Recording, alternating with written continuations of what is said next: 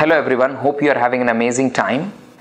Excited and honored about the nomination of CrunchMetrics for the jury round at Aegis Graham uh, Awards.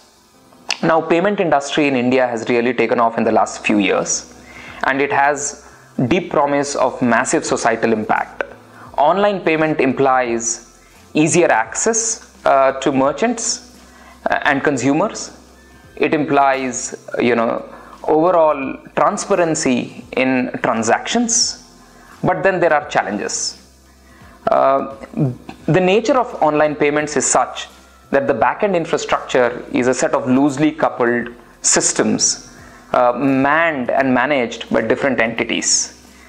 Uh, the overall success rate in payments is not really where it should be, and on an average, uh, nearly 30% payments, you know, fail uh, during the transaction.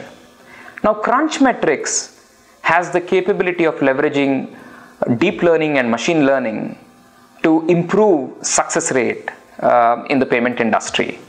The interesting thing about CrunchMetrics is it is not only built to solve problems in payment industry, but it has a set of capabilities which can help multiple industries which deal with large amounts of data uh, by helping them self-heal KPIs and also identify business opportunities which are otherwise hidden. Looking forward to the jury round and good luck to everyone who has been nominated there. Thank you.